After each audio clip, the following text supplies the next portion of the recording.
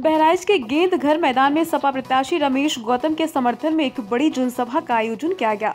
इस जनसभा में सपा के राष्ट्रीय अध्यक्ष अखिलेश यादव, मुख्य अतिथि के रूप में शामिल हुए। साथ ही हज़ारों लोगों का हुजूम भी शामिल रहा।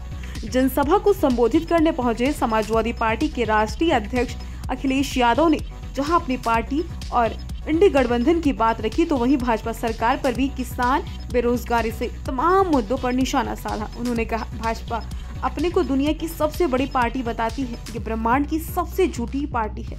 मतदान को लेकर अखिलेश यादव ने कहा, चौथे चरण के मतदान के बाद भारतीय जनता पार्टी का पूरा बैलेंस डगमगा जाएगा। बहराइच से दैनिक भास्कर के लिए कुतुब अंसारी की रिपोर्ट। बीजेपी हटेगी तो नौकरी मिलेगी, बीजेपी हटेगी तो हमारा संविधान बचेगा। और संविधान बचेगा तो हमारा आपका सम्मान बचेगा। यही संविधान है जो हमें और आपको अधिकार दिलाता है।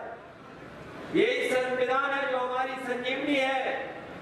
इसे जहाँ आने वाली पीढ़ी के भविष्य का चुनाव है, वही ये संविधान बचाने का और आरक्षण बचाने का भी चुनाव है। हम तमाम अपने साथियों कहना चाहते हैं, जो समय समय पे मांग करते हैं कि हमें इस सूची में शामिल कर दिया जाए, हमें इधर शामिल कर दिया जाए। हम अपने सभी लोग कह के जा रहे हैं। समाजवादी पार्टी और इंडिया गठबंधन ये मानती है कि जाति जनगणना हो और जनगणना के साथ साथ, आबादी के हिसाब से सभी को हक और सम्मान मिल जाए, उस दिशा में हम लोग काम करेंगे। चौथे चरण का चुनाव है बिल्कुल बीच का चुनाव है। तीन चरण खत्म हो चुके हैं।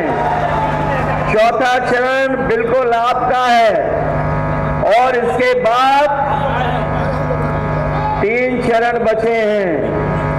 और हमें भरोसा है कि इस बार जो वोट पड़ेगा चौथे और पाँचवें चरण का, भारतीय जनता पार्टी का पूरा का पूरा बैलेंस जगमगा जाएगा।